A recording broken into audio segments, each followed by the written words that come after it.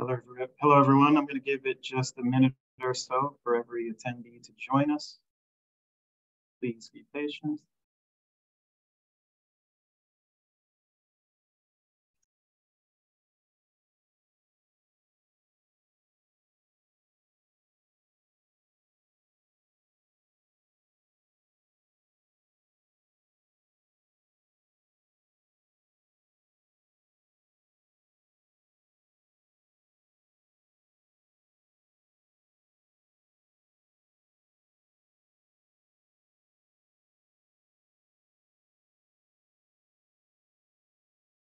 All right. Hello, good people. My name is Robert Stuckey, the Irrigation Association's Education Manager. And I'm pleased to welcome you to our second Manufacturer Series webinar of 2023. Today's webinar titled Making Smarter Decisions with 2Wire is sponsored by Hunter Industries. Founded in 1981, Hunter Industries is a family-owned manufacturer of best-in-class solutions for landscape irrigation, outdoor lighting, dispensing technology, and custom manufacturing sectors. To learn more about these innovative technologies, please visit their website at corporate.hunterindustries.com. Before we start the presentation, I'd like everyone to know that this session is being recorded and that all attendee microphones will be muted. This particular webinar is worth one CEU. By navigating to the certification tab on the IA's website and locating the Submit CEUs option, you can easily record your credits earned. For those that are unfamiliar with our web address, it is irrigation.org. If you have any questions, please type them into the chat box. Our presenter will do his best to answer them closer to the end of the presentation. Our speaker today is Greg, Greg Roesink. At Hunter, Greg's expertise lies in the technical aspects of designing, installing, and troubleshooting irrigation and landscape lighting systems. He works with the landscape and irrigation designers to help them understand and design using Hunter's line of products. Greg's, Greg's, commitment to professional development is evident through his educational background, including a degree from San Diego State University. He also holds an array of industry certifications, including our very own CID, CLIA, CIT, as well as the LICT, QWEL, CLV-LT, and RWSS. These certifications are evidence of Greg's dedication to staying at the forefront of industry trends and best practices. With a blend of technology proficiency, a wealth of experience, and a genuine passion for helping others succeed, Greg is passionate about his role in the green industry. Without further ado, I'd like to give our valued member of the IA Education Committee the floor. Take it away, Greg. Hey, thank you very much, Robert. I really appreciate the generous intro. Um, for those of you that aren't familiar with who I am, some of you guys may know me, some of you I will get to know a little bit today. Um, we're going to be talking about making smart decisions with 2Wire, but my name is Greg Roesink, and as he mentioned, I am the Southern California Specification Manager at Hunter Industries. But I did just get off of six years as the National um, Training Manager. So coming from that side of the business and going into the specification side of the market has helped me better understand how 2Wire can serve a lot more purposes. And and uh, i think that one of the things with 2Wire that we you know commonly hear in the industry is hey it's it's hard to use it's complicated the technicians you know aren't a huge fan of it things like that what I want to do today is demystify all of these things that are floating around the 2Wire conversation and talk about when and where 2Wire can be applicable for you guys. So here's my contact information so that if after the uh, webinar you're interested in reaching out to me about anything else, feel free to. That's greg.rosink at hunterindustries.com. And I want to point out a couple of websites real quick. That's hunterindustries.com and training.hunterindustries.com. Hunterindustries.com, we have a million different support articles for our products. Uh, so if you did want to get to know a little bit more about 2Wire, feel free to visit and see what controllers we have available to you. I will also be showing a kind of a comparison chart of our 2Wire offering. Uh, Robert has been so kind to add that into the chat. So you guys can download the documents that I'm talking about. There's three of them. And uh, throughout the presentation, you can download them and reference them as I'm discussing them, uh, or you can just hold on to them for future use. So I wanted to give that to you guys as a little bit of a takeaway. but feel free to visit hunterindustries.com. Also, training at hunterindustries.com is Hunter University, repping it on the shirt right here. That was my world for the last six years, and I love it with all of my heart. So, we've put together a bunch of trainings, uh, videos, training modules, um, quizzes, and things like that to help our industry partners, our customers, our distributors, our specifiers, and designers to give them tools to be more successful with our products. So, all of that stuff is free online, and I highly encourage you to check it out. There's a little bit of something for everyone. And for some people, there's a lot more than, you know, just a couple of things. So, go check that out, please. Uh, so for today, our discussion topics, we're going to talk about two wire versus conventional. So I want to explain that a little bit for those of you that may not understand what a two wire system is, or even a conventional system. This might all be new to you guys. I also want to talk about when to choose two wire versus conventional. This is a common question I get. Hey, I'm doing a project. Do you think I should use two wire on it, or should I just stick with a conventional system? I'm going to give you guys some tips on when to use two wire systems versus conventional systems. Um, we got to look at what our desire for control is. What level of control do we want over the system? We're going to look at smart sensors and communication. And we're going to talk about des- best design practices as well as installation best practices. And also, for all of you that have registered, I, I do need to address the elephant in the room. Kevin was co-presenting with me today, but something came up last minute, and he's very sorry that he couldn't be here. So anybody that came to see Kevin Battistoni and uh, hear his, you know, comical uh, presentations, it's I, am sorry and I apologize for that, but uh, you'll just get me today. So, anyways, let's move on. So let's do a little overview of what a two-wire system is versus a conventional system. Let's talk first about conventionally wired systems. So a conventionally wired system has a control or station wire that goes to every single valve solenoid in the field. Then there's a common wire that daisy chains between all of them and is common to all valves. So we call that the common wire. Uh, so we have the control wire or station wire, which is the red wires in this case. And then we have the common wire, which is the black wire in this case. Commonly, the common wire is white. So in most irrigation systems, conventionally wired, you're going to have a white common wire. And the station wire might be black, it might be red, it might be blue. But you'll see a lot more of the station wires versus the common wire, is what I'm getting at. So with a conventionally uh, conventionally wired system, you have 120 volts AC current coming in from your power grid. There's a transformer in the controller that converts that to low voltage, which is 24 to 26 volts of energy at 60 hertz that's being sent down the wire path to activate the solenoids in the field.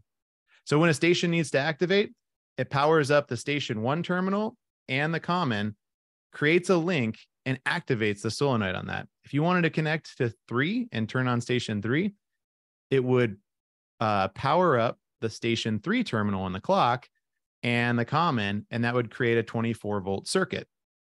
So what's different when we oh, and let me show you this picture. So this is 99 station wires with I believe 9 common wires. That's a big bundle of wires. If you can imagine 14 gauge or 12 gauge is a very thick wire, when you get 99 of those together, that is a huge bundle of wires. Now, if anything happens, if that gets compromised in any way, whether it be a backhoe cutting through the wires or maybe even just um, someone cutting a line into a, a yard or something. If you cut that wire, it's very complicated to fix it and it's very time consuming. So let's look at what a two wire system and a two wire setup looks like. First, let's let's look at what a conventional wired solenoid looks like in the valve box. So here's a conventionally wired valve box. You've got your solenoid here with the two red wires coming off, and they're going to connect to a red wire, which would be your station wire in this case and the other wire would connect to the common wire, which would be common to all valves, and in this case is white. You'll see that we have waterproof wire connectors. I will point out that somebody missed the bar on installing these waterproof connectors because these wire nuts should be pushed all the way to the very bottom of the waterproof gel filled tubing. So that is something that is going to be absolutely necessary when you're doing a two wire system because there's more area for compromise. Sometimes you'll see a spare wire that a designer has put in the box. to make sure that you have a backup plan for a wire that gets nicked, cut, or damaged along you know life of the system. And sometimes we can use that spare wire to reconnect the valve so we don't have a bunch of battery operated valves all over the place. Or uh, some people try to do it to prevent costly wire tracing and repair. Okay, so a two wire decoder system has a set of two wires, in our case, red and blue, that go all the way through the system from the controller.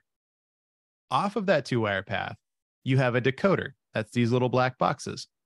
Now, the decoder is like your phone in a telephone system. I know we don't really have your home phone landlines anymore, but it works the same as kind of a cell phone. The cell tower sends out a signal. Your phone has a unique phone number, just like the decoder has a unique identification number. And inside of that, it deciphers the code as something's being sent along. So in this case, you'll see a, a series of one station decoders and then this two station decoder right here. The wires coming off are slightly different, so you can identify which one's station one or port one and which one's port two.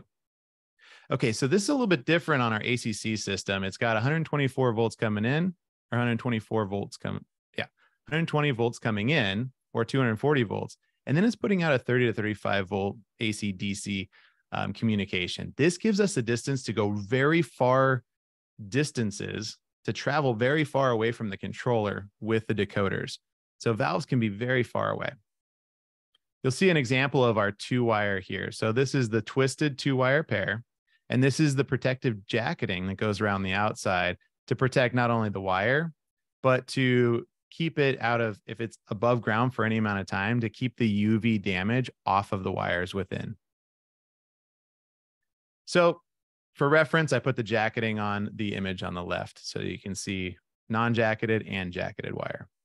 So, two wire decoder technology from Hunter gives us the opportunity to run up to 225 valves over a single pair of wires for miles. So, we can go up to almost three miles away from the controller on the farthest valve in the system.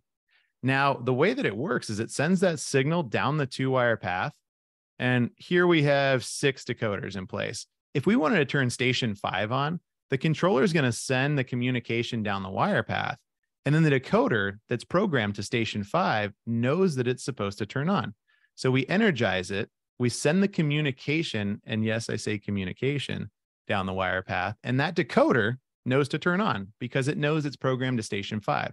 And it allows the energy to pass from the two wire path, convert it to what the solenoid needs to activate, and turn on the valve.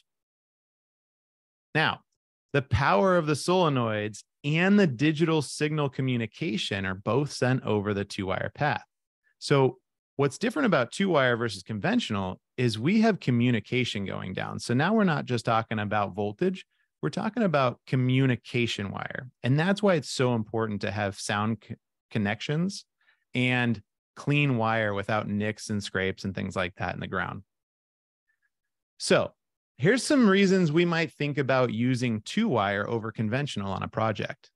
So, is the project going to be phased? Projects like master plan communities, schools, municipality complexes, um, cityscapes, things like that, where we're going to put in a, a phase of the project. We're going to put in maybe building number one with some landscape around it.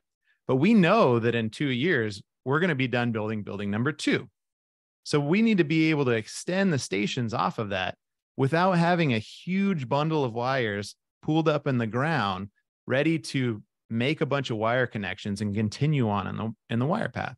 So with the two wire system, we can just take the set of two wires that ended after phase one, connect more wire to those two wires and continue it on in the system for the next phase of the project.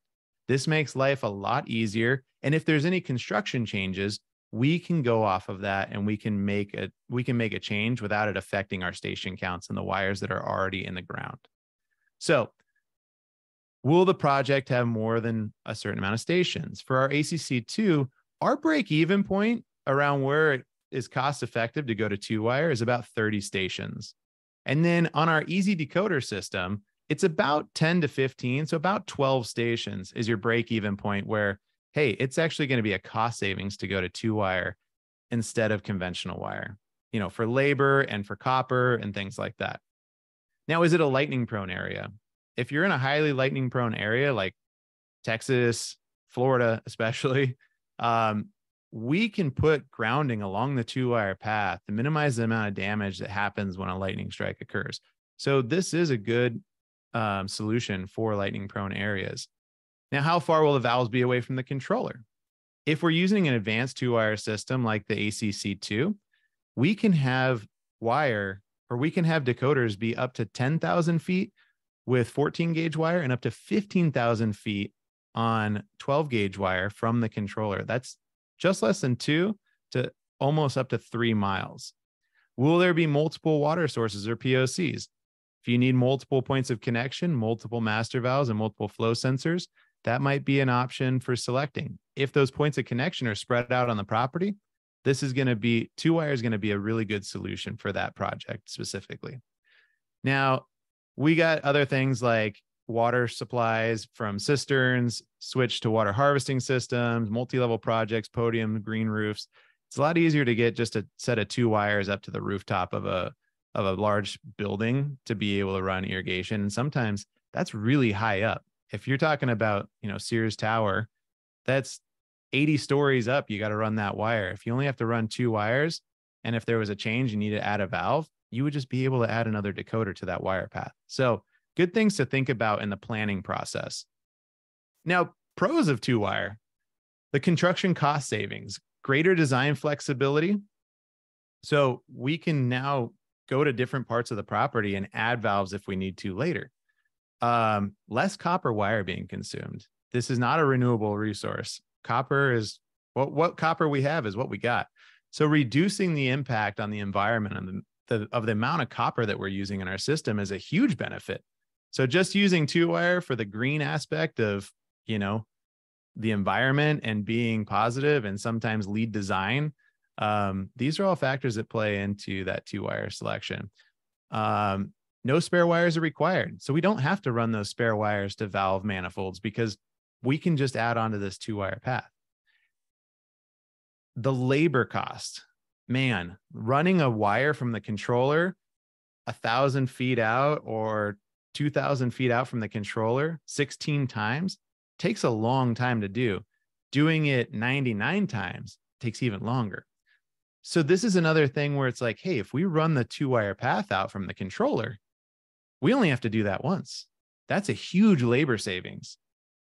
Then we can add on when we need to. We don't have to have all of these wires in the ground that we have to then come back to, especially on a phase project, and make wire splices in a pull box to continue those wires to that next phase once it's built. That's a lot of labor just doing wire splices.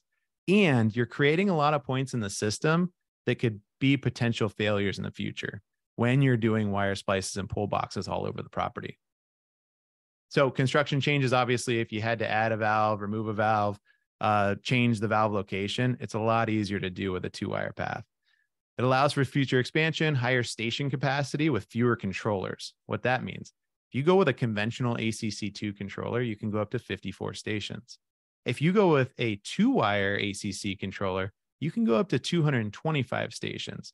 So you can do a lot more stations with one controller meaning if you've got a large property, you can cut down the cost of adding more controllers, which ultimately results in less controllers that need communication costs. So if you have LTE communication and you're paying per controller, if you have fewer controllers, your ongoing charges are going to be a lot less. And then optimizing pump, pump efficiency. This is a huge one. So if you can take a large controller, a large station count controller, and bring the features that ACC2 advanced controllers have, then you can optimize the amount of stations that are running at any given time to optimize the efficiency of the pump. Pumps have an efficiency curve. Where they like to be run at, there's a, a there's a sweet spot. And if we can run that pump at the sweet spot all night long, it's going to give us the best efficiency for long-lasting pump life as well as energy efficiency and lower cost. So the more stations that we can run at a time, the less amount of time we have to run for, increasing our efficiency in irrigation and lowering the cost of running the system.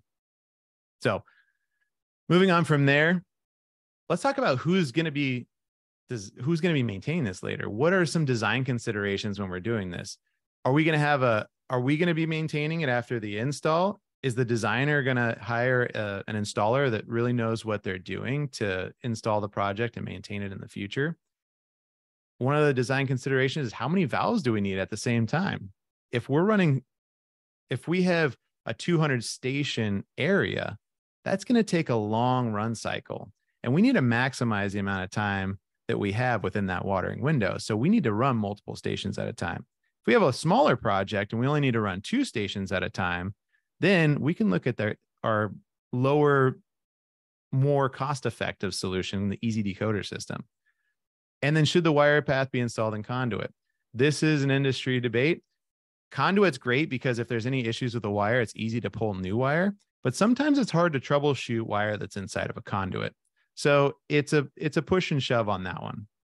And do I have all the necessary notes and installation details on my plans? If you're the designer, you want to make sure that you have all of the details and notes on your plans to make sure that the contractor that's installing has everything they need to do the job right. So when you're looking at the checklist for your system design, you want to make sure you have the right controller selected, that you're building a complete legend. You include all the specific notes and installation details for that system, the two wire path specifications, splice requirements, grounding, and then if there's any documents like as built and things like that for turnover, that you make sure that those are done correctly as well. So let's talk a little bit more about the controller offering and the controller selection. As you saw when you were registering for this event, there's two controller options that we have the easy decoder and the advanced decoder, the ACC with ICD decoders for two wire selection. Now, how do you choose a decoder controller that's right for your system? A, user interface. You got to know what type of user you're going to have on the site. Is it a small, easy to maintain site, or is it a large site that's going to take a lot of complicated sensors and things like that, or a lot of smart sensors to make the system run as efficiently as possible? Station capacity. How many stations do you need on that site? If you have 100 stations, you're probably better suited going with an ACC than a ICC2 or an HCC that goes up to 54 stations on decoder. Something to think about. Do you need a standalone on-site ET sensor? Options of web-based control and communication, maintenance, long-range maintenance remotes. Do the maintainers of this system want to be able to access it either from their phone or with a maintenance remote? Um, do you need hybrid operation? Meaning, do you need conventionally wired stations as well as two wire stations on the same controller? Um, and then design and field support factory training. One of the things that you get with any hunter system is great design, field support, and factory training. If you guys have any issues, call your hunter sales rep. They want to make sure that when you're installing the system or designing the system, you're doing it as efficiently as possible so you save money and you don't have to come back to the site to fix anything. So to give you guys a little bit of a cheat sheet here, one of the documents that Robert's going to upload is a kind of a comparison chart for our two wire selection, our two wire offering. So you'll see that we have the uh, Pro C, the uh, HPC, the ICC2, the HCC, and the ACC2, which are all two wire compatible. I'll let you guys go through that when you're selecting your controllers. It's a great reference sheet to figure out what you need. Uh, and you can cross reference it to figure out um, which, which is right for your project. So let's talk about the Easy Decoder system really quick a simple to use, easier two wire solution, um, which doesn't have two way communication. It's one way communication. So you don't have to worry about the wire path being as sound. So it's a simple low cost two wire for HCC, ICC2, HPC, and Pro C controllers compatible with both Hydrawise and Centralus software. So that's both of our online web based platforms. Plug in modules for existing output slots and what that means is, hey, this is a conventional controller, and we're putting a two wire module into it and making a conventional controller two wire. So that gives us the ability to do hybrid control. Now, the station counts go up to 54 stations on an HCC and ICC2, and then up to 28 stations technically on an HPC Pro C. It can be up to 32 if you're doing a conventionally and two wire system hybrid. So it's affordable. We've got HCC. Well, not only is it affordable, but it gives us some options here. HCC and ICC2 have hybrid operation. conventional decoder stations up to 54, and HPC and ProC hybrid conventional two wire control up to 32 stations. So this gives us a lot of flexibility. So let's take a look at that real quick. Let's unpack this for, se- for just a second. The PCDM is the module that goes inside the ProC and the HPC. If it's just two wire, you can do stations 5 through 32 on the two wire path without any conventional wires in. This must stay in place. That's a little bit different from the HCC and the ICC2. So know that you can do 28 stations on the two wire path, but we can add in conventional stations to make it a hybrid. So we can do one through four on conventional, and then we can do stations five through 20 or 32 on the two wire path. We can take that up a step and go up to seven stations conventionally, and then do stations eight through 32 on the two wire path. Now, the EZDM is the module that goes into the ICC2 and the HCC, which gives us that two wire capability. Now, the EZDM has two outputs, so you can add two wire paths off of the controller easily so that you can split it up if you needed to go to the west side of the property and to the east side of the property from the controller. Now, we can also do a hybrid combination here. We can go eight stations conventional and then do stations um, 9 through 54 on the two wire path. We can add station modules in all of the module slots up to 24 stations in the plastic model, and then do stations 25 through 54 on the EZDM. Now, what we can do, I'll mention this, I don't have a slide for it, but on the metal enclosure, we have six slots. So you can have up to five conventional modules and then one easy decoder module for the rest of the stations. So if you need to take an existing system essentially that's already conventionally wired and you want to add on to it, sometimes the best way to do that is to install an HCC or an ICC2, put in an easy decoder module, and then run the rest of the zones that you need to add on to that site with the two wire path. And it'll run it just like if it were conventional or just like if it was just two wire. You're not going to know the difference when you're programming the controller. So, just a quick oversight Quick snapshot PCDM goes to the HPC Pro ProC. EZDM goes over here on the HCC ICC2. Now, for our HPC and our HCC, those controllers are Hydrawise capable. So now you have two wire for Hydrawise. For the ICC2, it will run off of Centralus. So with a communication method added to it, you can connect it to Centralus. Now that gives you some remote management on almost all of these controllers. So looking at the decoder module side by side, you've got a pump master valve connection. So you can have your pump and master valve on a decoder in the field. You don't have to have it directly wired into the controller, which is a nice add. So if your if your master valve is pretty far away from the controller, you can just add it onto the two wire path.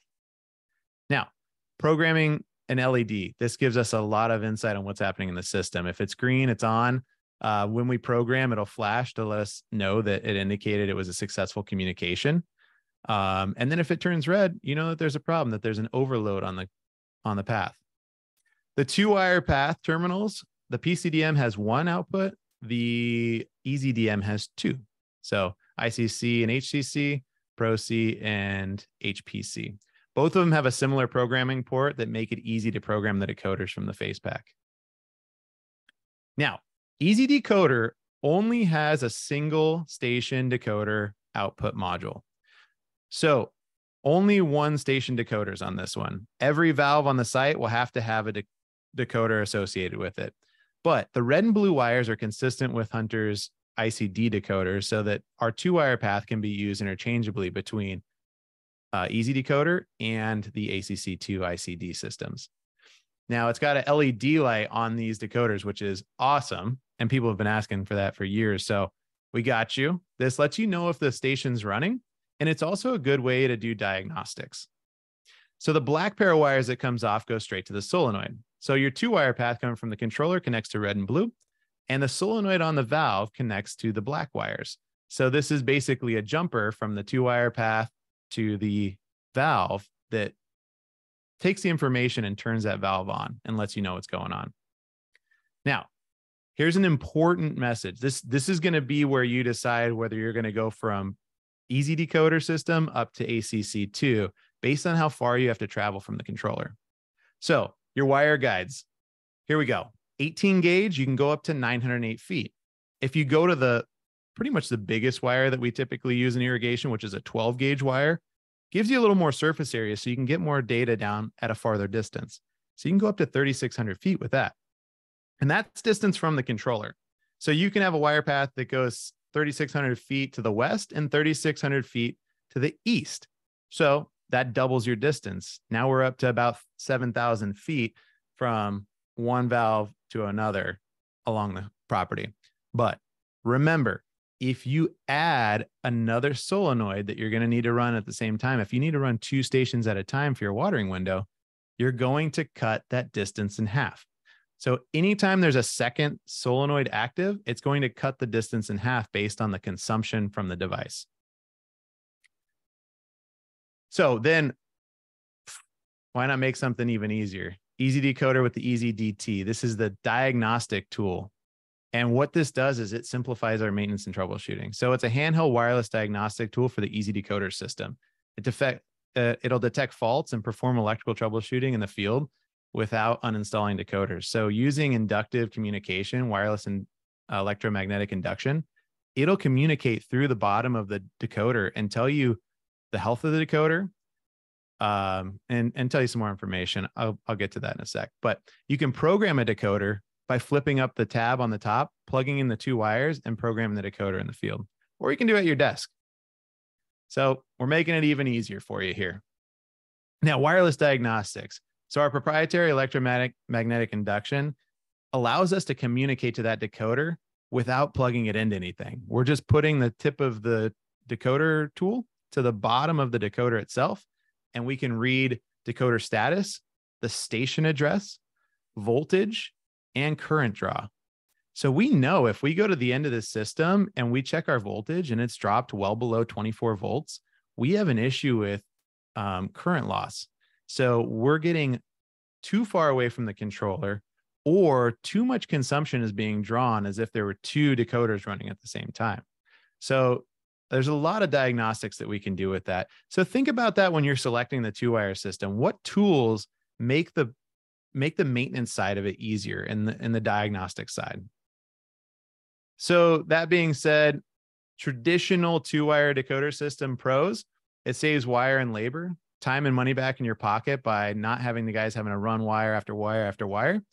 It's electrically efficient. So our ACC2 system can go up to 15,000 feet um, operates more stations at a time. So you can do up to 30 stations at a time on the ACC2. So it's it's electrically efficient, but it's also flexible, easy to expand off of, and there's a lot of sensor capabilities with with that system. And then on the ACC system, you can put sensors on the two wire path. You can't do that with HCC, so that's a consideration when you're selecting one of the two controller options. Now, cons uh, traditionally cons would be that it requires a perfect installation but with a little bit of training and a little bit of practice you're going to get perfect every time. You're going to get better and better at the installation. Now we say it must be premium grade wire. This is more so for the acc2 system that we're about to talk about in a minute. The easy decoder system can kind of run off of anything. You saw that it can go down to 18 gauge wire so you could use an existing multi-strand wire to connect your two wire path to.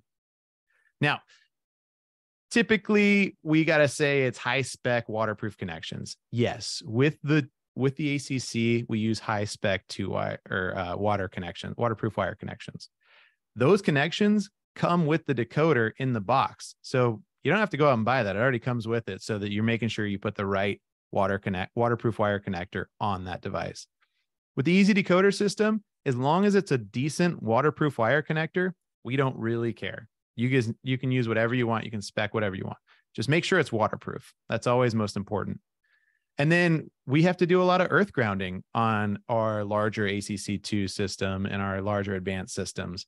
Easy decoder, a lot, you know, a lot easier. It's on, it's in the name. We don't have to ground if we don't need to. If we're in a low, you know, not so lightning prone area, no grounding necessary if you want to ground in higher lightning prone areas, you can use our surge, our uh, dual surge to add on to the wire path and add some grounding, but it's not necessary. requires additional tools for troubleshooting. Well, the great thing is, is we have tools for each system that help you with troubleshooting and maintenance later on. So it may be a con, but we also give you the tool, or you know, you can get the tool to to use and utilize for that maintenance practice. So we can uh, address any questions you guys have about the Easy Decoder system at the end here. I'm going to jump into the ACC2 and the advanced decoder controller. So this is where we open up the door for a lot of possibilities. So on our ACC2 system, we have a conventional and a decoder. We're going to be talking about the decoder in this case. So ACC2 75D decoder system. It's got a great user interface, a big screen with a dial and some ATM buttons to make your selection. So it's easy for the guys to understand the field and gives you really good snapshots of the programming that you're putting into the controller. It has modular expansion, starts at 75 stations, goes up to 225 with a third station module or a third decoder module. So this is a cost savings right here. If you're only going to be doing 75 stations, you're saving a, a significant amount of cost not installing the other two decoder modules. Now, that's that's a huge deal in itself. You you can select what you need. So we're a little bit more flexible with that. Uh, it's got this reversible face pack, which is awesome. And I'm telling you a few features that are just great for the maintenance side and for the installer side. So that face pack in the previous photo was on the front. You open it up, now it's on the back. It magnetically removes and flips around so that you can see what you're doing while you're programming decoders inside of the clock rather than closing the door, looking at the face pack, opening it back up, putting your stuff in this is a great way to to get a snapshot of what's going on inside of the controller while looking at the face pack. Now, when you flip it around, it automatically goes into diagnostic modes for the field techs that are out there looking at the system. Uh, it's got a powerful, high horsepower three amp transformer, which gives us the ability to activate 30 uh, solenoids simultaneously. So we can have up to 30 stations running at any given moment. Now, hydraulically, you got to make sure that you have the capacity to do that. But we're giving you electrical capacity to do that if it's achievable on your site. So, breaking into this 225 stations with the three expansion modules, base 75 station capacity. Now, this is cool six pump master valves. So, we can have up to six master valves and we can have up to six flow sensors. What's a flow sensor without a master valve? So, we give you six of each. Now, three click sensors. This is pretty awesome. We can use click sensors on this controller, A for rain click or, you know, rain shutdown, soil moisture sensors, but we can also use it with buttons. So we can program if then then that features. So if you're doing a project that's a school and you've got a, it all phased out, and one of the areas is going to be the baseball field and it's really far away from the controller, you can install what we call a coaches button that coaches button gives that person the ability to just go up, open a little box with their key, push a button, and it'll syringe cycle their entire field right before the game to get it right where they want it before game time. So there are cool if then then that kind of featurealities that we can put into this controller to customize it even further, which you don't get with necessarily with the easy decoder system, but that's because we have this two-way communication within these advanced decoder systems. Now, SolarSync on-site sensor, if you need a sensor on site that's reading your weather, like we do in California, they require us to have ET on site to make sure that this controller is making adjustments based off of the weather. We got that option built into the controller. So pretty cool stuff there. Now, stations and programs, we can do up to 32 programs with 10 station times or station start times and 12 hours of runtime on each station. So we've got way more programs than probably anybody's ever going to use, but somebody asked for it, so we gave it to you. Uh, non-water windows by program. So we can do non-water windows at the program level so that we can say, hey, overhead turf zones cannot water between this time and this time. So that's a water window. Outside of that, it's not allowed to turn on. So we can do that for the turf zones. But if there's no regulations on drip zones in the shrub areas, by all means let it run all day long if that's what you can do to you know maximize your watering uh, schedule so per program is very helpful for having some custom customizability on these programming scenarios so then visual program summary this gives you a snapshot of where the watering schedule is at based on what you've put into the controller And if you have a watering restriction or a no water window on that program, it's going to show you when that starts to make sure that your program isn't overlapping into the watering restriction area. If it does, you want to adjust the programming so that it doesn't fall into that restriction. But you'll see that program five has no restriction and it's watering over the time that program four, program two, and program one have. So we can schedule multiple stations at a desired flow rate with flow management. So, flow management and flow monitoring are buzzwords that are kind of flying around the market right now. Flow management, to break it down, basically allows you to set a target based on your mainline size. So, if you have a two inch mainline, your flow target is going to be about 50 gallons per minute. Now, what that means is it's going to find and source stations based on their flow rates to run effectively at the same time where it doesn't exceed that flow target. Now, if you said our flow target was 50 gallons per minute, it would run five 10 gallon per minute stations.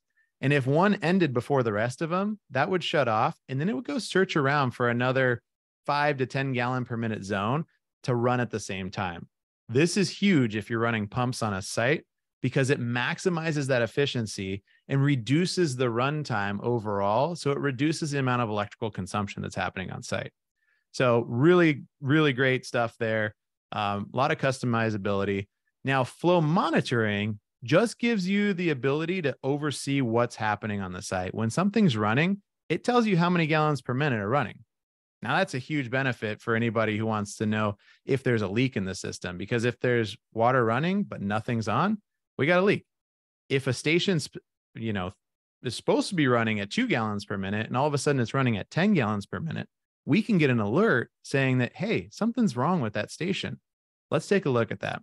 And then you can send a service tech out to take a look at it. So that is some high level uh, flow monitoring and flow management opportunities that you can do with a more advanced system. Now we have central control. We can do our Centralus platform on the ACC2 and ICC2, which gives you a snapshot of where your controllers are located. So this is great for parks and municipalities and things like that that have controllers all over the city where you need to see their location. And then you can dial down into each particular controller and you can see station programming. You can manage uh, your, your seasonal adjustment. You can see sensors, you can see flows. And when I say that, you can see a snapshot of actual flow happening on each project in gallons or liters per minute. The flow totals are by day, by week, by month, and by year. So you can actually see how much water ran on a specific day of the year or in a specific month of the year.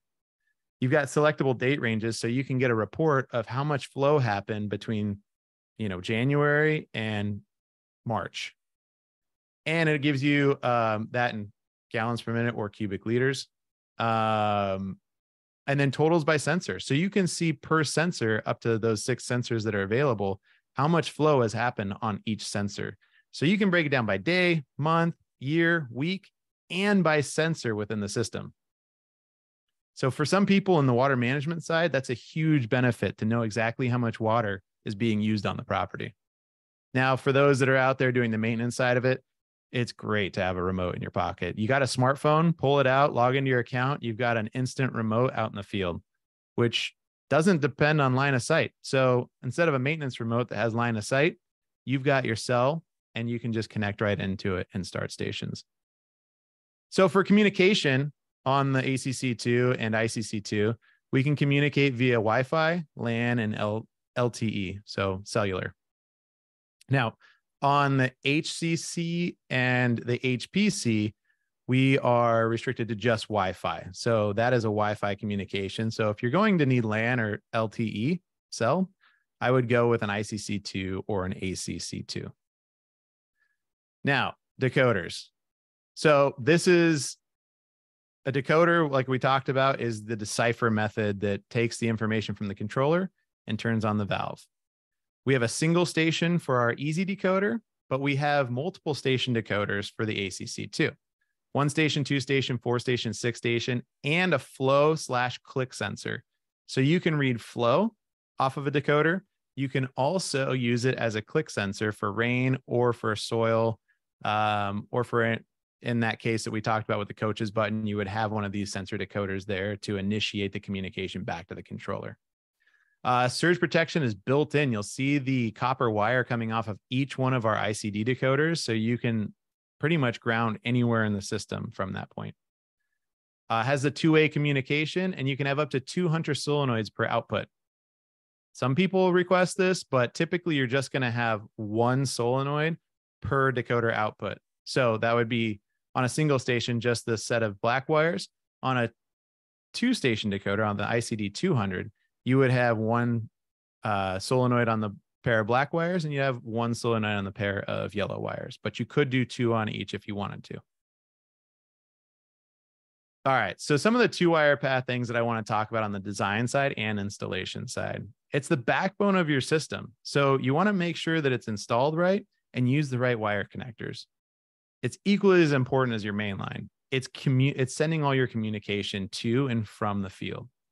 And it's your sensor communication. So if you have a flow sensor and you want accurate flow, you need a good pipeline of communication. You need an open highway for that information to get back. Now, do not loop the two wire system. This is what a looped wire path looks like. This makes it very difficult to troubleshoot in the future. And most people will argue that the loop system is required for long distance runs. But if you can go 15,000 feet to the right, to the left, up and down, I don't think you're going to have any issues with that.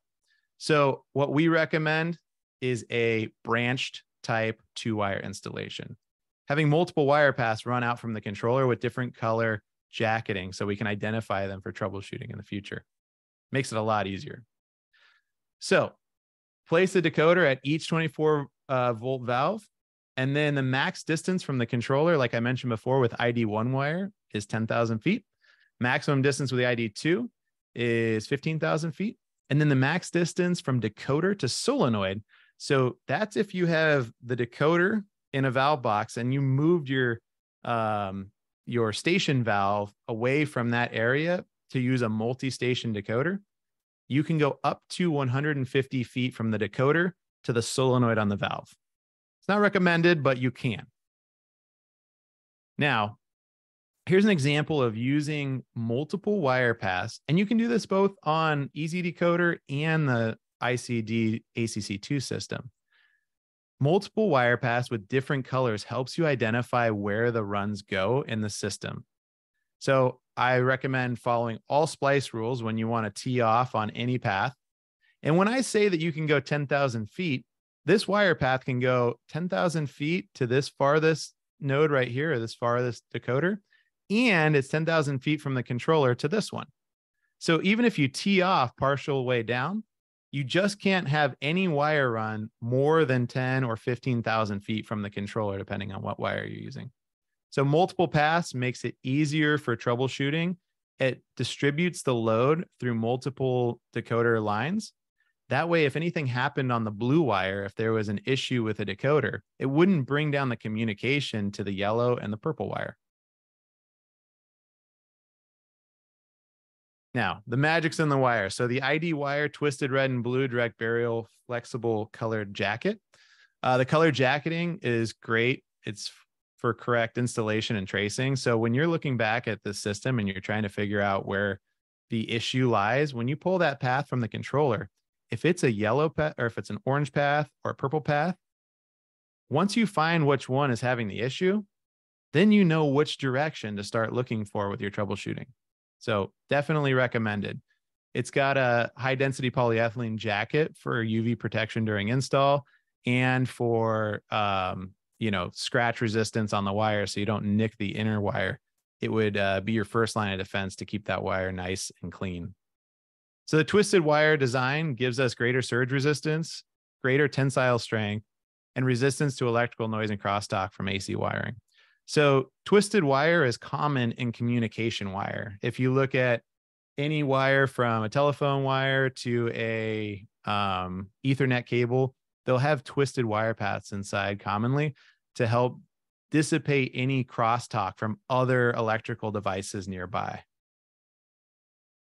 So here's a, uh, the two product numbers from the uh, partners that we use, Paige Irrigation and Regency Wire you wanted that information. So here's some do's and don'ts for future expansion. So do have jacketed wire with waterproof connectors on all the terminations of the wire path. So if you're going to terminate the wire path like this at the end where you're going to expand later, make sure you use waterproof connections on the ends of the wire and put it inside of a valve box.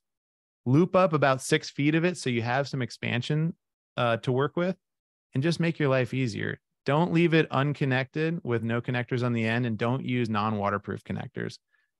Make sure that's in a box that's dry with waterproof connectors so that when you connect to it, you know you have a really good wire path to work with. Now, it's not the case on HCC and ICC2 with the Easy Decoder.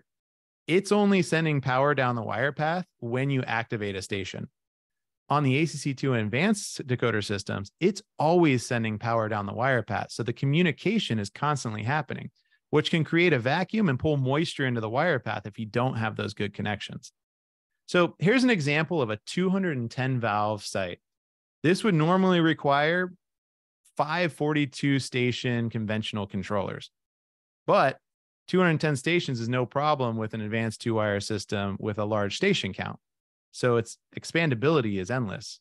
So we can put all 210 wires on one wire path and cover the whole project. But why do that when we can create some insurance in our system and have multiple wire paths? So here's an example of splitting that in two. Say the controller's right here by the pool, and you go to this half of the property with a purple wire, and you go to this half of the property with an orange wire. And what does that do? You can use the full potential of the controller. The entire site won't be without irrigation during diagnostics and repair. So if one of those wire paths has an issue and it goes down, the other one can still run while you're repairing it or looking for the issues. And it makes it easier to diagnose the problems where they are in the field. Here's an example of a, a maintenance technician out in the field with two different color wires in a box, right? The blue and the orange. Well, when there's a road crossing like this, if he had to figure out where the, you know, if there was an issue over here where stuff wasn't communicating, he could go across the street and have his technician look at what color the wire is on the other side and he knows that it's either the orange wire that goes to this side or the blue wire. So having that different color identification is huge. And then using multiple wire paths out of the controller. If you can, put one wire path on each of the modules if you're going to have a 225 station count controller.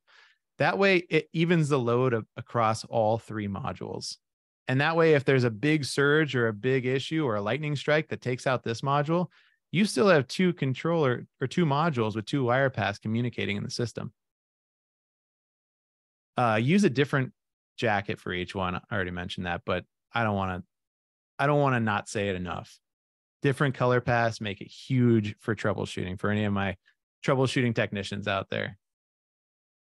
Now, if you have a master valve or flow sensor on any of the wire paths, label it inside the controller so you know which one has the, the master valve and flow sensor on it makes it easier for troubleshooting that later on as well. And then leave some extra room for expansion, contraction, and uh, just a little bit of strain relief. So you can take this a step further. You can break it up into three areas. You can break it up into six areas. It's up to you. Each decoder output uh, module has three wire path settings or three wire path setups. You can double up in one, but we give you three in each one, which is more than enough. So in this case, you could have two in decoder output module one, two in decoder output module two, and two in decoder output module three. So make sure when you're specifying multiple wire paths that you got the color jacket and that you ask for as builts when they install this, because that's going to be a huge tool for the maintenance technician in the future. If you're the installer and you're going to be maintaining it as well, double down. It's even better to make really good note of what's going on in the system. Uh, don't put a decoder, um, don't put all decoders on one wire path if you don't have to. Install splice boxes at the base of the controller. That is a bad idea. We see this all the time. They'll have three different wire paths that come from different directions on the property, and then they'll wire them all up in a valve box and then run one wire up to the controller. What a nightmare for troubleshooting make sure you run the wire pass all the way back up into the controller. It's going to save the maintenance technician a lot of time. Now, allow wire, do not allow wire with protect, do not allow wire without protective jacketing. The two wire twist, it will work, but a lot of times that gets nicked when it's being pulled into the ground. So be careful of that. All right. Now, one of the most important parts, the wire splices. Make sure you have sound wire splices and you give yourself extra slack in the box in case the wire gets compromised at the wire splice. That way you can cut back to good clean wire and make a new connection. Our spec is the 3M DBRY-6, and a lot of two-wire manufacturers use this same wire protect or wire nut and uh, gel-filled tube because it's the best. It is one of the best. It's rated up to 600 volts of electricity. Uh, it's got multiple gauge sizes. It's tapered inside so that you can fit smaller gauge and larger gauge wire.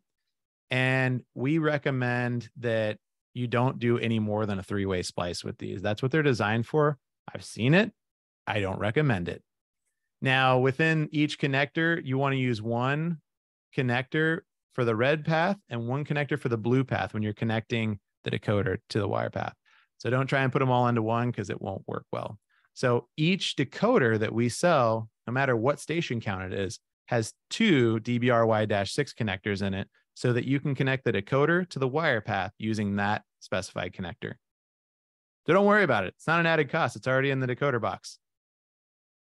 When you do it, make sure you twist the connector tight. You get it all the way to the bottom of the gel filled tube. That's the only way to you know, cleanly waterproof this connection. And then we recommend putting it face up or bottom up in the box so moisture doesn't sit on top of it and potentially work its way down into the connector. Now, if you're in really hot climates like Arizona, uh, you know, Florida, where it gets real hot, if you leave them upside down and those valve boxes get real hot, sometimes the, the glue or sorry, not the glue, the gel can start to back out of it. So be careful on that. All right. So here's an example of the connectors that we recommend for downstream when you're on the connector side of the solenoid. So after the decoder to the solenoid, really any good waterproof gel filled wire nut is going to suffice. We recommend the 3M DBOB, but dealer's choice on that one. Just make sure it's the DBRY 6 for the decoder to wire path. All right. Now, let's talk about what a, a decent install looks like. So here's a valve box with a one station decoder. You'll see that the solenoid wires are wired together. Uh, well, you can't really see those, but then you see that our decoder wire path and our decoder wires are connected up with 3M DBRY-6s right here. Oh, those are the station wires. My apologies. But what happened here was the installer didn't push that gel, that nut to the bottom of the gel filled connector. So this could pose an issue in the future. So do's and don'ts of that. Please, please don't use a wire, a gel filled wire connector and then put it inside of that connect that gel filled tube. It's not going to work. It's not going to fit. And this is not a good connection. Even though you think you're doubling down, ain't going to work. Uh, make sure you get those connectors all the way to the bottom. All right. So let's talk about assigning the decoders. So when we're assigning the decoders, it's easy on the easy decoder system. You put the two wires in, turn the station on from the face pack that you want to program, and simply press the program button. That will flash the indicator light on the decoder and the program module, and you've done it successfully. If you're programming a master valve, do not turn anything on with the controller in the off position or in the just run position put the two wire leads in and press the program button. Now you've just programmed a, a pump master valve. Super easy. You can do that also with the handheld programmer, the handheld diagnostic tool slash programmer. Using the little uh, openings inside, you open that up. It'll actually show you a red and a blue connector to line it up. Doesn't really matter which one they go in, but you can program it there as well. Now, from the ACC side, you have the programming ports in the controller, but you also have the um, ICDHP handheld programming device.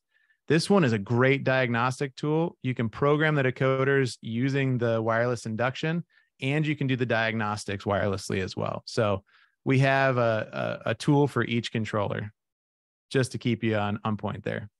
All right. So for sensors, I want to talk about the sensors that are capable for these controllers flow, rain, ET, wind, and soil. So flow sensing, HC Flow and the HFS are the ones that we sell, but our ACC2 um, and ACCs, they are compatible with pretty much any flow sensor. And with Centralus connection to the ICC2, you can pretty much install any flow sensor as well. Uh, the HC flow is typically for Hydrawise. So if you're installing a Hydrawise controller with flow, you're going to select that one. Now, you can do, like I said, from the sensor decoder, you can do the flow sensor, and from the controller specifically wired in, you can also do flow.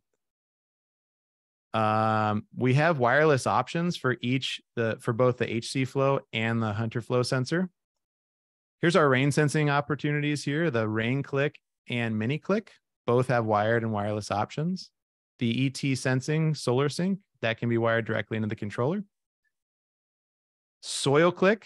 This is soil moisture sensing. If your system is going to run, it won't allow it to if the soil is super wet. You set the threshold and then once it hits that threshold, it says do not water. Once it goes below that threshold, it'll activate. So we've got a team of experts in the field that are here for you guys. If you have any questions on designing, installing, troubleshooting, please feel free to reach out to us anytime. We're out and about all the time, and we really want to do training to help you guys get better at two wire. So, with those other documents that I sent you, hopefully you have some tools to take away from the meeting today that will help you out in designing, installing, and troubleshooting. And that's all I got for you. So I wanted to see if there were any questions. Gregg, I, ah, I took we... up all the time, Robert. I'm sorry. That no. was like right at the 60 minutes. Not a problem. I think we have time for maybe one question. So I'll go with the first that we received. It's from our friend Paul Barker. If the shielded wire is run through a multiplex where stations may be added on in the future, what is the best practice for splicing into that cable where slack might not exist in the ground?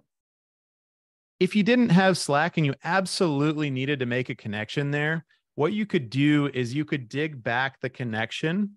So where the wire comes in, if you can see my my fingers here, you don't have any extra tension there. So what you can do is you can dig back on either side, cut the wire in the middle, create some extra slack, and then run a new daisy chain wire between those two connections. But if you do that, make sure that you put the splice that you're making on the two wire path in a valve box so you can find it in the future. Do not just bury it right into the dirt. Uh, but that is one way to create extra slack if there is a damage in the wire or if you needed to add a T splice somewhere that wasn't anticipated prior. Now, any valve box should have a little extra slack. So if you go to your nearest valve box, you can just tee into the wire there.